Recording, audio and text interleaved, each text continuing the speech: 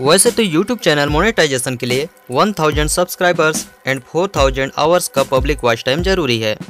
वो भी यह 4K आवर्स का पब्लिक वॉच टाइम एक साल के अंदर ही पूरा होना चाहिए।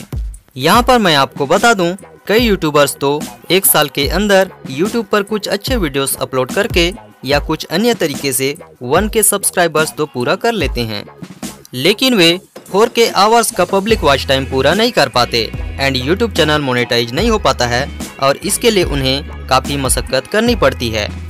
Now question is how to complete four K hours public watch time in one year तो यहाँ पर मैं आपको दो तरीके बताने वाला हूँ, जिससे कि आप बहुत ही जल्द अपने यूट्यूब चैनल पर फोर के आवर्स का पब्लिक वॉच टाइम कंप्लीट कर पाएँगे।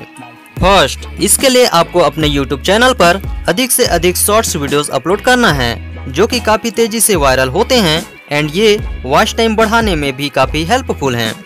सेकंड चाहे आप किसी भी कैटेगरी का यूट्यूब वीडियोस बनाते हो तो भी बीच बीच में आपको किसी अन्य कैटेगरी का वीडियो अपने यूट्यूब चैनल पर अपलोड करना है, जो कि ट्रेंडिंग में भी हो। एंड आपको तो पता ही होगा कि ट्रेंडिंग वीडियोस वायरल होने के चांसेस काफ़ी ज़्यादा होते हैं।